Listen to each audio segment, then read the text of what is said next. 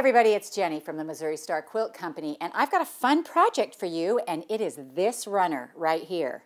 Now, I know before we get started, I know you're going to ask me about this quilt behind me. I just thought it would be lovely to hang, but we have a pattern on this. It's called Summer in the Park, and we're going to link to it in the description below. I just thought it made a beautiful backdrop for this darling runner that we are going to make today. We call it Making Waves, and it's just a darling quick runner. It's a quilt as you go project, and so it goes very quickly. I was going to call it Make It in a Morning, but you know, I thought Making Waves was cuter, and it is just really that fast.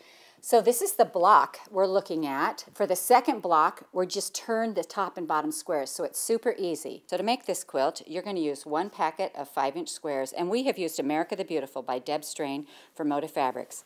You're also going to need a half a yard of background fabric and a half a yard for your border. For your backing, you're going to need one and a half yards. Also helpful in making this quilt is Quilters Select Free Fuse, a Bloc Loc ruler, and our Quilter's Best Blend batting.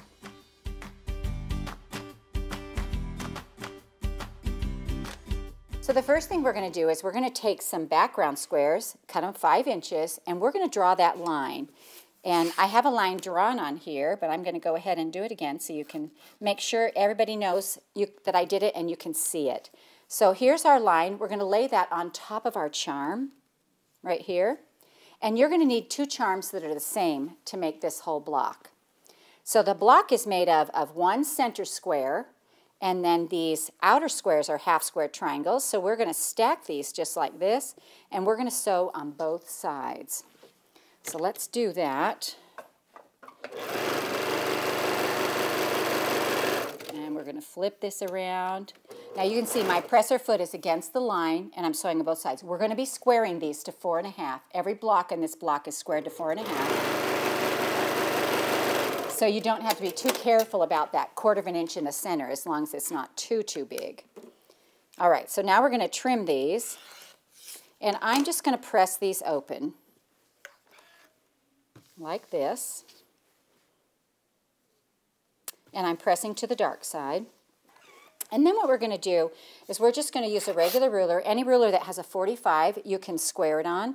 And we want to square these to four and a half. And so I'm going to take my line right here, and I have to, oh, I have to start with the one, so it squares at four and a half.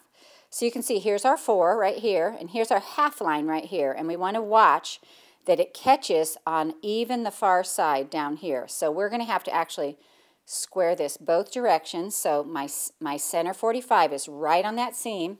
And I'm just going to trim off these edges like this and like this. You know, I've been, i use a lot of different tools for squaring things, and people are always like, can I just use a normal ruler? Yes, you can. So we're going to do the other side as well. We're coming in at four and a half right here, watching, making sure this lines up, this lines up, this line is still on the four and a half, and basically we're just going to kind of shaving this edge right here.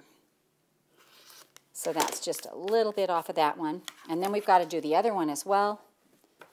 So we'll go ahead and put it at four and a half. And sometimes it fits just perfect and you don't have to trim both sides. But, um, ooh, this one looks really close. Usually I'm trimming a little on this side and a little on that side. Let's see what we got here. So again, here's our four to four and a half. We're lining, making sure our block is lined up with those lines, making sure that this stays on that seam. So I got to turn that just a little bit. And then, I don't think I have anything, oh, just a tiny bit on there. All right, so half of our blocks are going to be this way, and the other half are going to be this way. So it's going to make that chevron look. So we're going to go like this, and we're going to go like this. And then this center block right here, we also have to cut down to four and a half. So I'm going to take my ruler here, line it up on the edges, and we only have to cut on two sides for this one. And so we're cutting here and here. And then we're going to stick that right in the middle and that makes your wave. And so you have one block going one way, one block going the other, so you'll, you'll make us, you know, however long you want your water. So let's go ahead and sew this block together right here. So we got to make sure that we keep these in going the right directions. If we don't, Then we just have to make another one so that we have enough going each way. So I'm pretty sure this one is still right, and then this one is going to go this way. So a key to remembering which way they go is they should go the same direction. This, this center seam should be pointing the same way. If this one is pointing this way, it's not right. So just remember they both go the same way. When you do the other block, they're both going to go the other way. All right, so let's sew this down.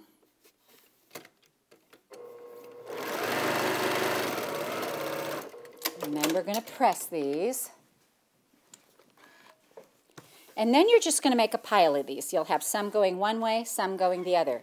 Now, if you make, if you have 10 in your table runner, this charm pack will make two table runners, which I always love that one five inch pack can make two table runners. Or if you have a really long table like I do, it will make one long runner. So once you get all your little pieces done, you're ready to really get into the quilting of it. So what we're going to do, I'm going to show you, I have this all ready for you here, and I'm going to open this up, and this is our backing and our batting. Now we used, we have this right here, Quilter's Best Blend. This is a crib batting. Um, there are rarely uh, like perfect sized batting for what you need, and so you'll end up cutting this one. And when you put your blocks down, this is for any Quilt As You Go product, you want to make sure that you have enough for your border and enough so that you, if case if you wiggle, you know you won't you won't get too lost on it. But this one is crib size, so you're going to cut 19 inches off the crib size, and one of these will make three runners. So that's kind of good to know. You could also use the bed runner size, you know, if you had the really long one. We have several different types of batting. So I've got this backing here, and I've got my whole runner laid out, and these are all just pieces. Now, one of the things that I want you to notice is that I took my Sharpie and I took my ruler and I drew a straight line here. When I do quilt as you go, I tend to kind of slide down, you know, th my things don't stay straight. So by drawing a line on here, I have a great way to keep my project lined up. So this is 12 and a half inches, and I've drawn the line on both sides, you can see right here, so that I make sure that my pieces stay within the guide.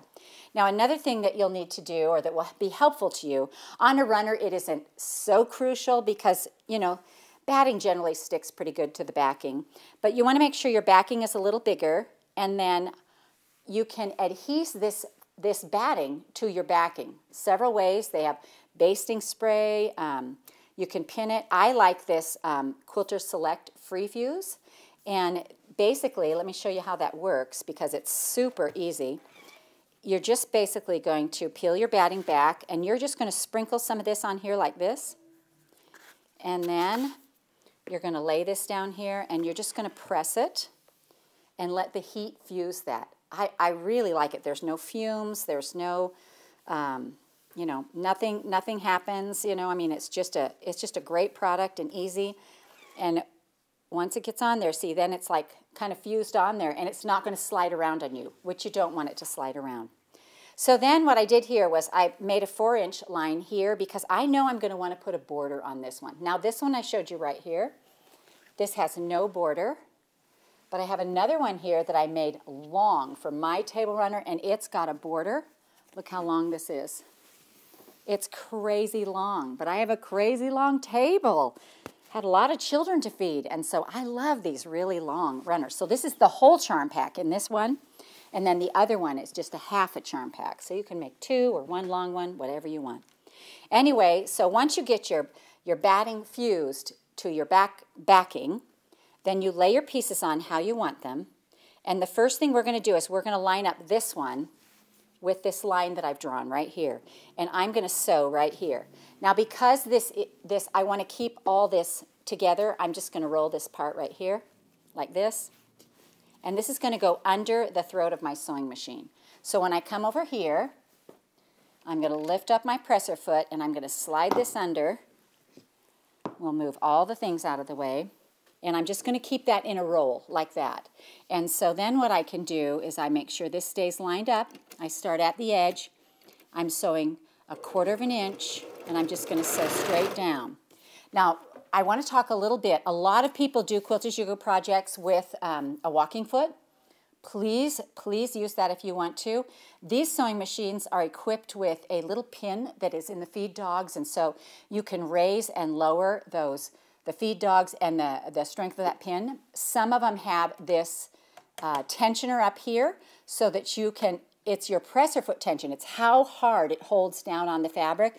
And you just want to make sure if you have a machine and it's just kind of slipping and sliding through, then you may want to check your foot tension. You may want to use a walking foot or whatever. My machine is set up for this kind of stuff. And so I'm just going to sew down the side like this.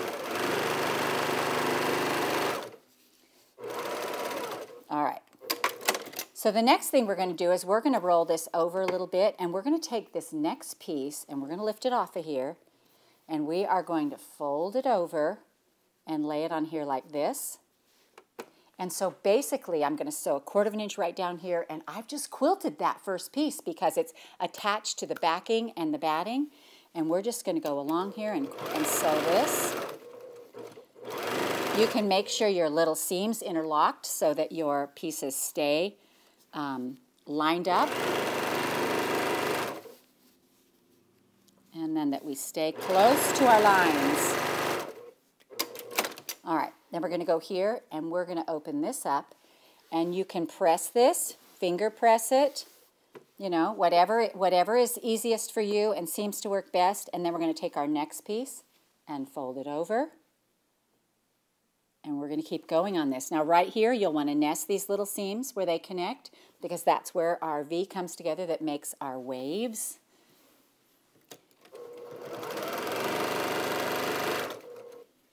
And we've got this one right here.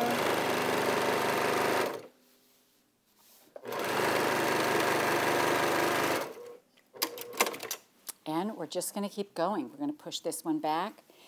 And you want to make sure these stay really nice and flat. I mean, it might be worth it to just get up and iron each one. Um, I'm just really making sure they're nice and flat. And uh, I'm just going to go ahead and keep sewing these on. I'm going to make sure that I stay lined up on this top line up here. Oh, see, look, I'm, I'm kind of, I'm already kind of, uh, you know, sliding a little bit.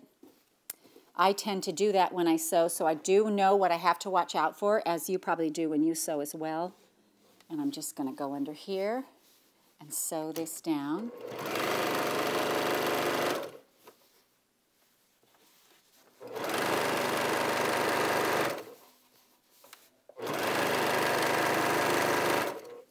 Now we are just going to keep going along and sewing this down all the way along and as soon as I'm finished I'll just meet you right back here.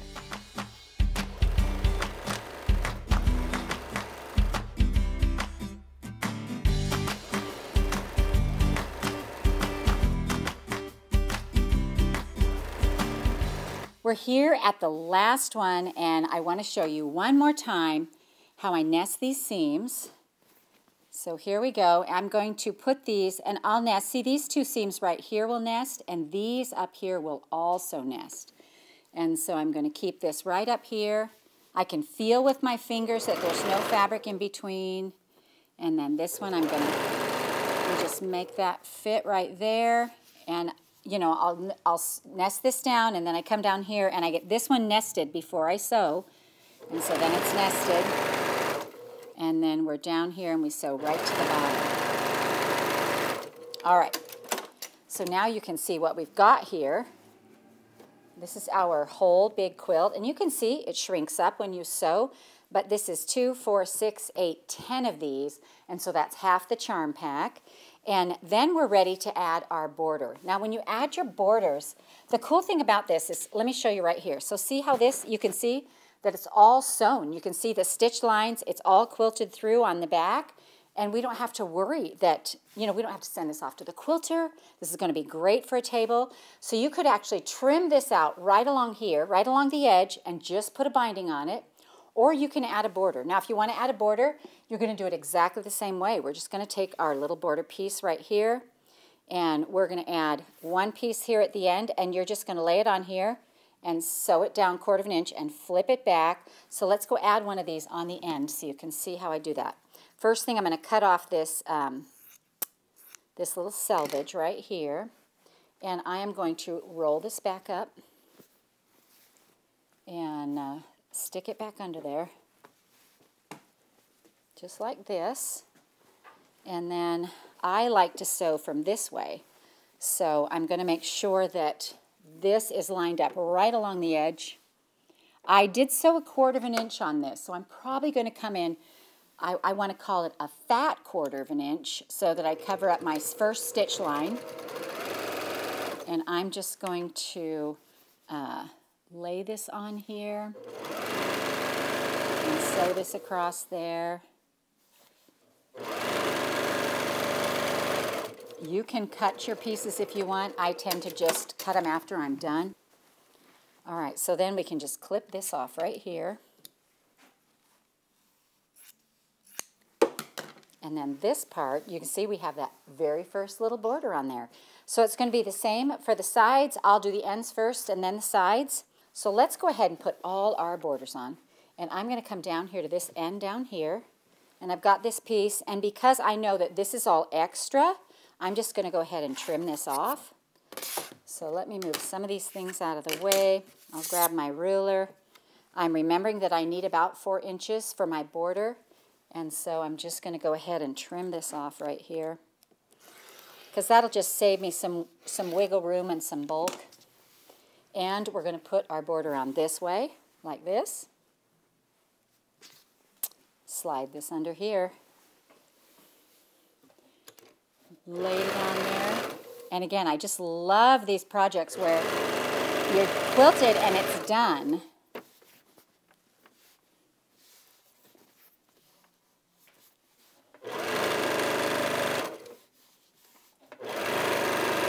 All right, let's trim that.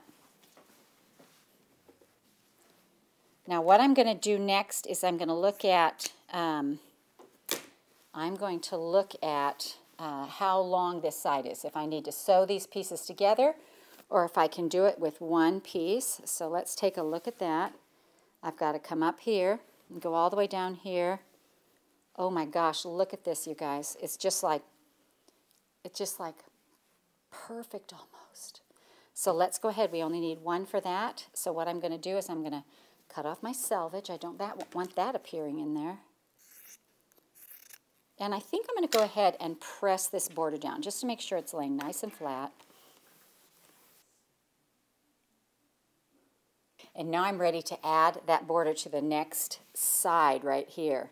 And so see how, see how this right here, this is cut a little wonky? It's not going to matter because I'm going to put this on my line and come straight across on that line. And I'm just going to sew that down the side.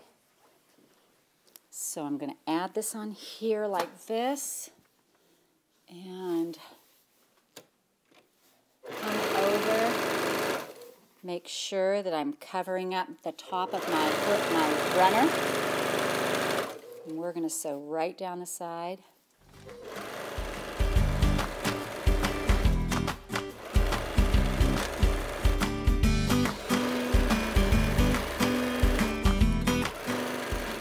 There we go. All right, let's take a look at that. That's looking pretty good. Now I'll add the other piece to the other side. Let me go ahead and trim off this selvage.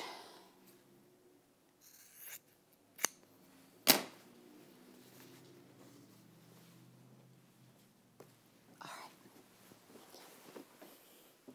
Gonna lay this one on here, just like this.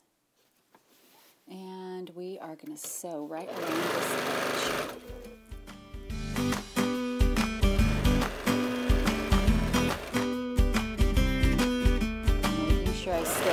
Up at the bottom of my runner.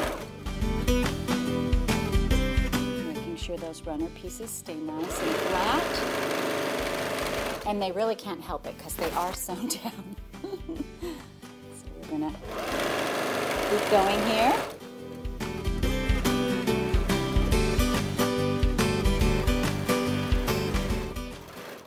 And just like that, our table runner is ready to go.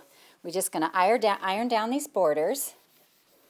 And so I'm just going to pull this across here and catch each side, ironing across the middle as I go.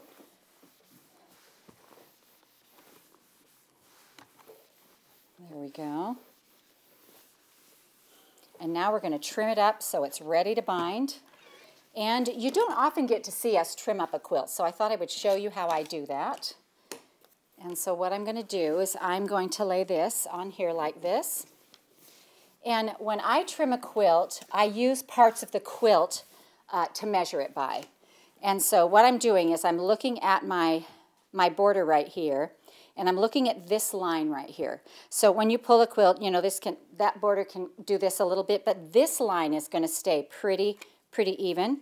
So I'm going to pull it down here to the bottom and I'm going to start my cut right here. And I'm just going to follow this all the way up like this. Keep pulling it down.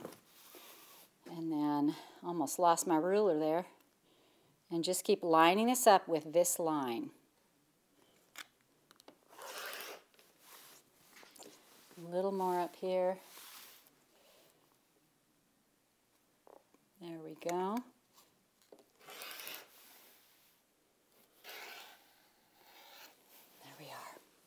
All right, now we're going to turn it and do the same thing on the ends. And you can see, you know, I have a little bit of, of my border sticking out here. It's not going to matter because we are just going to trim that off. Whoop. Then we're going to come down the other side.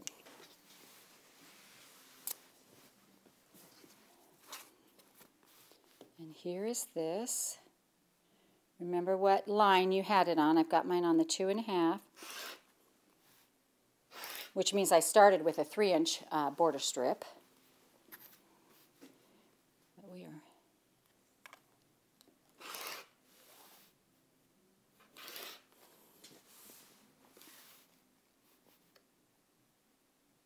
And you can see if I can do this, you know, right on here while we're having a tutorial I mean, this is a great thing to do. You know, even if you have to do it the night before, I mean, you're going to be able to get this done because then you can just put your binding on it and just, you know, you'll be ready by the morning. It won't take you any time at all to bind this.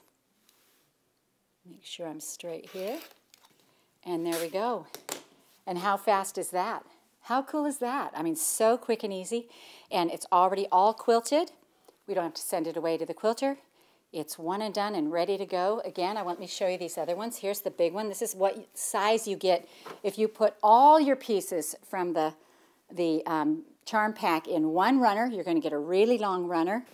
And um, if you don't want to add a border and you don't want to go to that trouble, it's just as cute. I mean, you can do it like this as well. So lots of options with this quick and easy idea. Quilt as you go. And we hope you enjoyed this tutorial on making waves from the Missouri Star Quilt Company. We hope you enjoyed watching this video. If you are not already part of the Missouri Star Quilt family, you can hit the subscribe button below so you won't miss a thing. And if you click that bell, it'll notify you every time a new tutorial comes out. See you next Friday.